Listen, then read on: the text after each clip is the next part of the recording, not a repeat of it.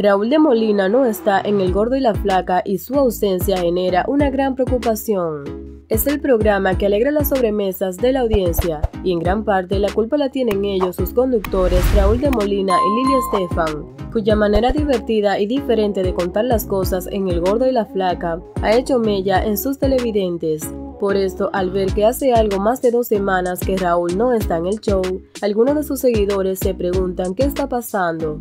Desde las redes sociales del conductor, su audiencia fiel se hace la misma pregunta, ¿dónde está Raúl? Aunque Lili Estefan sigue a cargo del programa muy bien acompañada por entre otras Tanya Charry y Clarixa Molina, su gracia e ironía frente a las cámaras se echa en falta. ¿Será que no está en el show? Es cierto que votaron a Raúl de Univision. El show no es lo mismo sin Raúl. Raúl hace falta en el programa, escribieron algunos al presentador en su más reciente publicación en Instagram.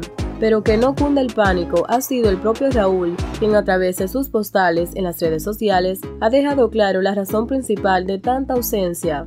El otro pilar del Gordo la Flaca se encuentra en Madrid de vacaciones con su esposa Milly disfrutando de la buena gastronomía. Ya estuvieron por las tierras españolas el año pasado y quedaron encantados, así que han regresado y están deleitando los sabores, platos y comidas de los restaurantes más chic de la capital española. ¿Qué opinas tú de esto? Déjamelo saber aquí debajo en los comentarios.